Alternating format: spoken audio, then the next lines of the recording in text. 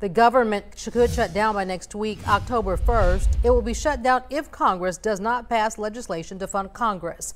As a result, thousands of federal workers could be impacted, as well as other federally funded programs. NBC 15's Karis Harmon joins us now.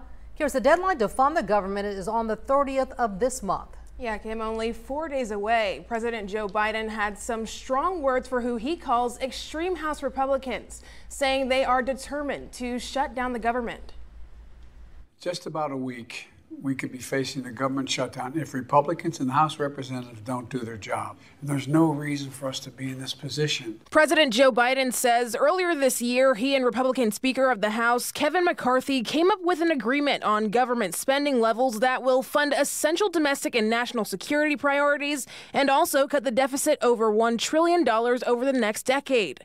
But he says extreme House Republicans don't want to do their part.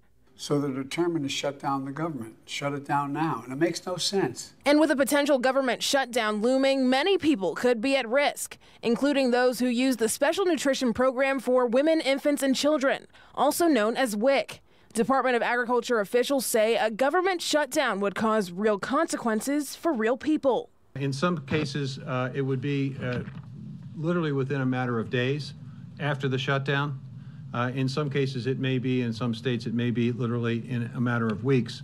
But clearly, uh, during the course of a shutdown, millions of those moms, uh, babes, and young children uh, would see a lack of nutrition assistance. He also says farmers would be prevented from accessing new loans, and housing loans for rural families could be delayed. If the government shuts down, that means members of our U.S. military are going to continue to be on duty but not get paid. And frankly, that's adding insult to injury. If there is a government shutdown, the U.S. Department of Defense says troops will still defend our country, but they'll be doing it without pay. All of this would prove disruptive uh, to our national security and our efforts to address the critical needs of the American people. And again, the reason is that uh, these extreme House Republicans are basically turning their backs on a bipartisan budget deal that they worked out uh, uh with the president. And two thirds of them voted for it just a few months ago. 1.3 million active duty service members would be at risk of not getting paid if the shutdown does occur. Of that 1.3 million, 8,200 service members in Alabama would be unpaid. It's not just the service members not getting their paychecks that are affected here, it is their families. Nobody joins the military to get rich. You join because you, you love your country. Electrical bills, water bills, rent, mortgage, uh, uh, grocery bills, all that stacks up to the great detriment of these young men and women. The good news is Social Security recipients will still get their payments. The Postal Service will be unaffected, law enforcement will still be operating, and veterans will receive their monthly pension and health care benefits. But thousands of other federal workers, including nearly 25,000 in the Mobile area, are at risk of working without pay or being furloughed. Kim? Karis, thank you. The government shutdown could directly impact the airport in Mobile as well as the development of the new international terminal downtown. Chris Curry with the Mobile Airport Authority says it would affect TSA workers who would have to work without pay.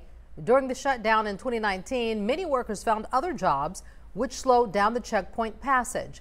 Also, non-essential workers such as people who process payroll and grant funds would be laid off. This could delay any capital projects lined up for the airport no one wins from a government uh, shutdown, and hopefully, uh, you know, our people in Washington could work together for the good of the airports and the flying community. Curry says the development of the downtown international terminal could be delayed due to a pause in processing grants.